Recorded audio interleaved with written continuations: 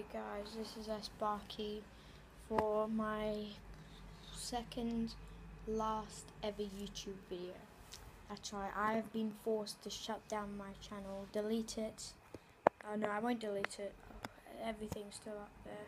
Not sure about that yet. But yeah, I just haven't been paying attention to the things I have to. And yeah, it's been shutting down. I just have to. It's for the best. So my last video, my very last video on a Sparky, will be a montage of all my best bits. Not that there are any. uh, so please, um, there's nothing I can do about it.